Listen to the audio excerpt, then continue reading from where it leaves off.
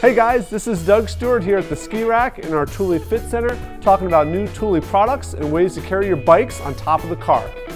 One of the most current classics in the line has got to be the Thule Sidearm. It's been around for a season or two and people have really come to know it and love it.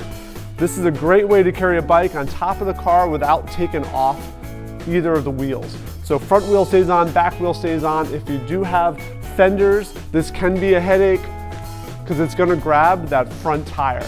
But if you've got a full suspension bike with all kinds of funky geometries, not a problem. As long as you've got at least a 20 inch wheel, this thing's gonna hold it. So kids bikes and 20 inch wheels, BMX bikes with 20 inch wheels, as well as your big mountain bikes, 29ers, 27.5, old 26 inch tires, all those bikes are gonna be held just great by the sidearm.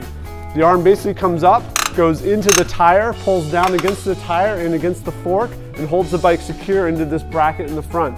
Back tire gets put into a pretty traditional strap for the back wheel. If you do have fat tires that are bigger, four inch, five inch tires, it's not gonna fit in the tray, but anything below that will. So your plus size bikes will, as well as your regular 2.4 inch mountain bike tires and stuff like that.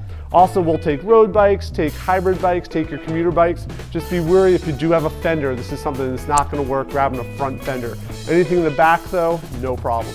Um, easy to adjust, easy to put on, goes onto the car really easily with wing nuts. The rack can be locked to the car, so you can lock the rack onto the car. You can lock the bike into the rack. So a two pack of Thule locks makes this thing solid and secure.